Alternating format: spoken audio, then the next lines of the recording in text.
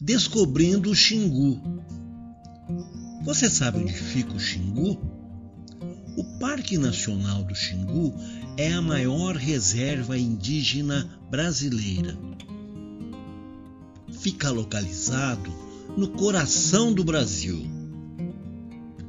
Muitas tribos diferentes vivem no Xingu.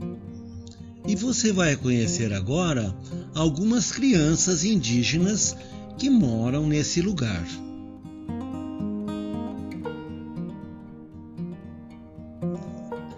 Este é Akanai, um menino do povo Cuyucuro.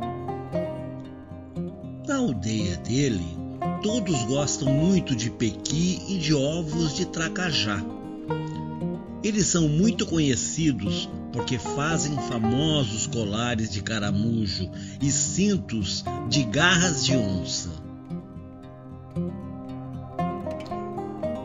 Essa é a Iri, uma menina do povo Auete. É um dos povos mais simpáticos e hospitaleiros do Xingu.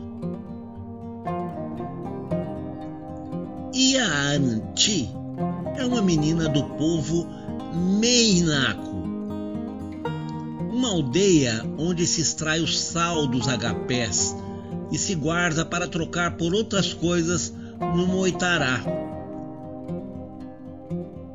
O Moitará acontece quando visita-se uma aldeia levando objetos, alimentos e até animais para trocar com os outros.